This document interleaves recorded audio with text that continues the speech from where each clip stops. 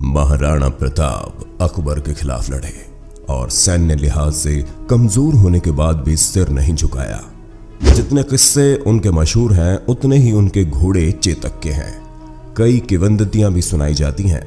College में हमारे एक मास्टर साहब तो राणा प्रताप को पढ़ाते हुए भावुक भी हो जाते हैं।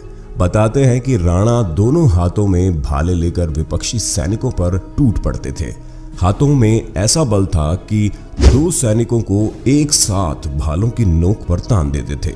ये भी कहा जाता है कि मेवाड़ में लोग सुबह उठकर देवी देवता को नहीं, बल्कि राणा को याद करते हैं। तो चलिए जानते हैं रहस्य टॉक शो की आज की इस वीडियो में वीर महाराणा प्रताप के कुछ अहम किस्से। नंबर छह, वफादार मुसलमान ने बचाई थी महाराणा की जान। 1576 में महाराणा प्रताप और अकबर की सेना के बीच ये युद्ध हुआ। अकबर की सेना को मान सिंह लीड कर रहे थे। बताते हैं कि मान सिंह के साथ दस हज़ार घुड़सवार और हज़ारों पैदल सैनिक थे। लेकिन महाराणा प्रताप तीन हज़ार घुड़सवारों और मुट्ठी पर पैदल सैनिकों के साथ लड़ रहे थे।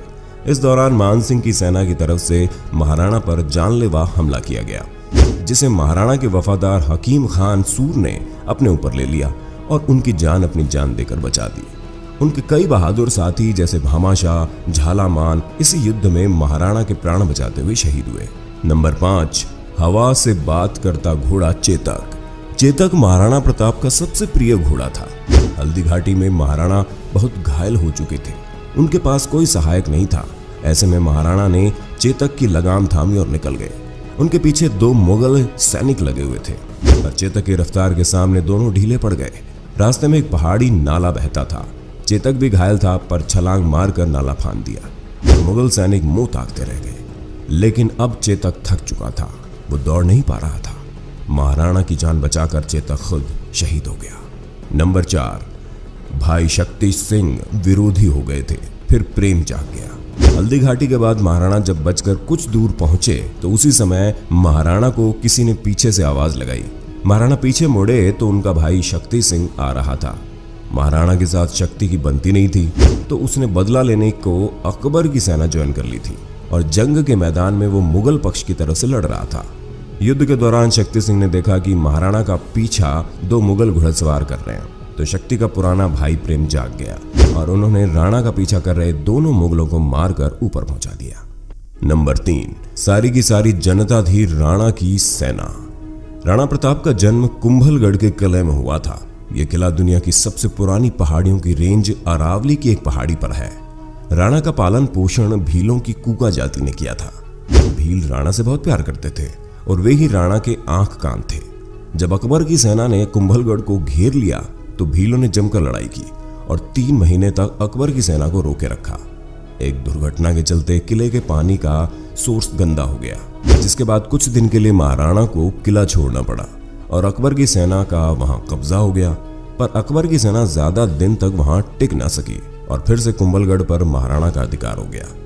इस बार तो महाराणा ने पड़ोस के और दो राज्य अकबर से छीन लिए। नंबर दो, घास की रोटियाँ।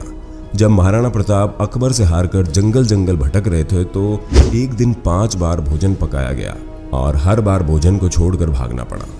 एक बार महाराणा प्रताप की पत्नी और उनकी पुत्र वधु ने घास के बीजों को पीसकर कुछ रोटियाँ बनाई। उनमें से आधी रोटियाँ बच्चों को दे दी गई और बची हुई आधी रोटियाँ दूसरे दिन के लिए रख दी गई। इसी समय महाराणा प्रताप को अपनी लड़की की चीख सुनाई दी। एक जंगली बिल्ली लड़की के हाथ से उसकी रोटी छीनकर भाग गई और भूख से व्याकुल लड़की के आँसू टपक गए। ये देखकर राणा का दिल बैठ गया। नंबर एक, अकबर की तारीफ़ किए बिना नहीं रह सका। जब महाराणा प्रताप अकबर से हार कर जंगल जंगल भटक रहे थे, अकबर ने एक जासूस को महाराणा प्रताप की खोज खबर लेने को भेजा।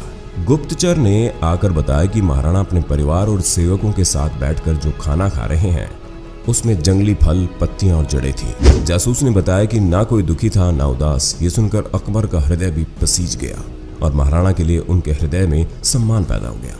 अकबर के विश्वास पात्र सरदार अब्दुल रहीम खान खाना ने भी अकबर के मुख से महाराणा प्रताप की प्रशंसा सुनी थी। उसने अपनी भाषा में लिखा, इस संसार में सभी नाशवान है। महाराणा ने धन और भूमि को छोड़ दिया, पर उसने कभी अपना सिर नहीं झुकाया। हिंदुस्तान के राजाओं में वही एकमात्र ऐसा राजा है, जिसने अपनी जाति के गौरव को बनाए रखा। मुगल सैनिक इस प्रकार उनके पीछे पड़ गए थे कि भोजन तैयार होने पर कभी कभी खाने का अवसर भी नहीं मिल पाता था, और सुरक्षा के कारण भोजन छोड़कर भागना पड़ता था। तो कुछ ऐसे थे वीर महाराणा प्रताप। आप महाराणा प्रताप के बारे में क्या जानते हैं? कमेंट में ज़रूर बताइए।